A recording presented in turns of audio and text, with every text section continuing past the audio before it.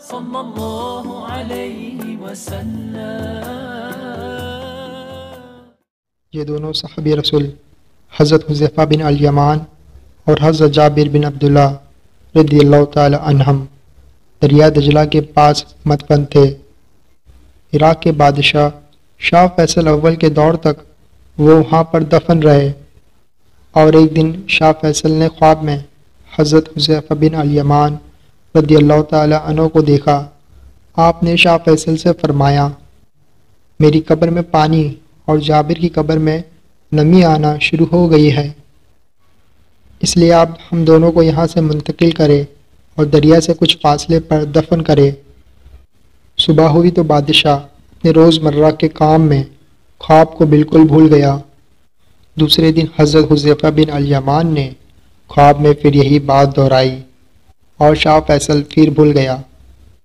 तीसरे दिन इराक़ के मुफ्ती आज़म के ख्वाब में हज़रत हुज़ैफ़ा बिन अल यमान आए और कहा, हम दो रातों से बादशाह को कह रहे हैं कि हमें यहाँ से निकाल कर दूसरी जगह दफन करे, मगर वो भूल जाता है।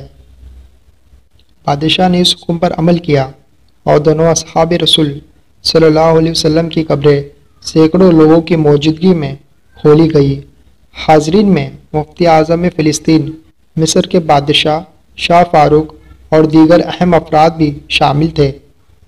अल्लाह के हुक्म से मज़ारात को खोला गया और हज़रत हुज़ैफ़ा बिन अल यमान रदी अल्लाह तहों की कब्र पाक में पानी और हज़रत जाबिर बिन अब्दुल्ला रदी अल्लाह तहों की कब्र पाक में नमी आ चुकी थी।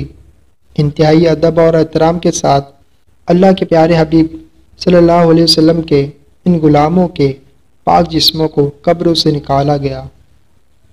हज़रत जाबिर बिन अब्दुल्ला और हज़रत हुज़ैफ़ा बिन अल यमान रदी अल्लाह के चेहरों से कफन हटाए गए और ये देखकर तमाम अवाम ख़ास हैरत ज़दा रह गए कि इंतहाई तवील तरीन अरसा बीत जाने के बावजूद इन दोनों असहाब रसूल सल्लल्लाहु अलैहि वसल्लम के असाम हैरत अंगेज़ तौर पर तरो ताज़ा थे और यूँ लगता था कि जैसे अभी अभी दफन किए गए हो।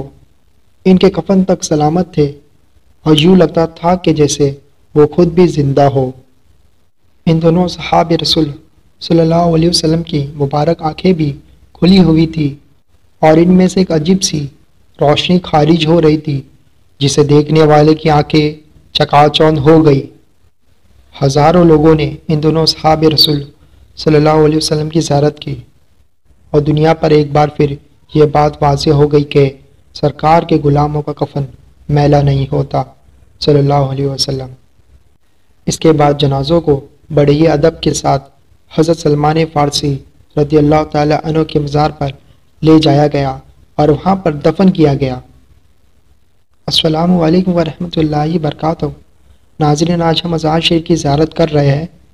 हज़रत जाबिर बिन अब्दुल्ला अंसारी रदी अल्लाह तु आप हज़रत मोहम्मद मुस्तफ़ा सल्लल्लाहु अलैहि वसल्लम के असहाब में से एक थे, जिनका ताल्लुक मदीना मनवरा के अंसार से था और सबसे ज़्यादा उम्र पाने वाले साहबी है।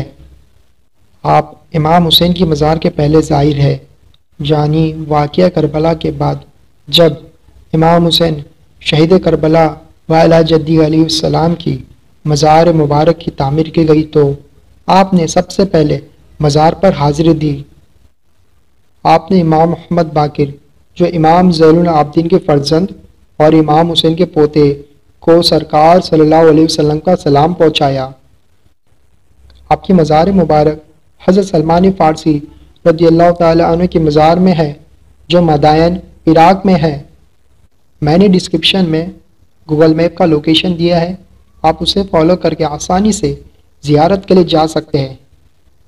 चलिए ज़्यारत जारी रखते हैं। हज़रत जाबिर बिन अब्दुल्ला अंसारी रदी अल्लाह तु आपकी कुन्नीत अबू अब्दुल्ला है। आपके वालिद का नाम अब्दुल्ला बिन उमर बिन हराम है। उनका ताल्लुक कबीला हज़रत से था। आपके वालिद हज़रत अब्दुल्ला अंसारी गजवाए अहद में शहीद हुए। आप हिजरत मदीना से तकरीबन पंद्रह साल पहले मदीना मुनवरा में पैदा हुए।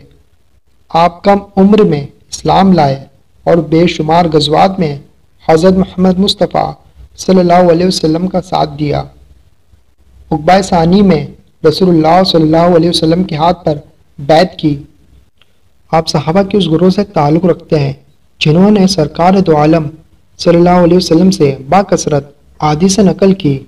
आपसे 1540 आदिस मरवी है। जो आपका शुमार उन सहाबा में होता है, जिनसे कसीर तादाद में अदीस मरवी है। आप सिर्फ़ एक हदीस सुनने के लिए पचास हिजरी के असरे में मिस्र का सफ़र किया। आप जंगी सिफिन में अमीरुल मोमिनीन मौला अली करमल्ला वजुल करीम के सफ़ा में शामिल थे। वाक़ आशुरा और शहादत इमाम हुसैन के वक्त आप मदीना मुनवरा में थे। इमाम मोहम्मद बाकिर, जो इमाम जैनुलआबदीन के फर्जंद और इमाम हुसैन के पोते और अहल बैत के पाँचवें इमाम हैं। आपने इमाम मोहम्मद बाकिर रद्दल्ला को सरकार दो अलैहि वसल्लम का सलाम पहुँचाया। आपने नबी करीम अलैहि वसल्लम से तवील उम्र की बशारत पाई थी और तकरीबन चौरानवे साल की उम्र पाई। आपने अठहत्तर हिजरी में मदायन में विशाल फरमाया।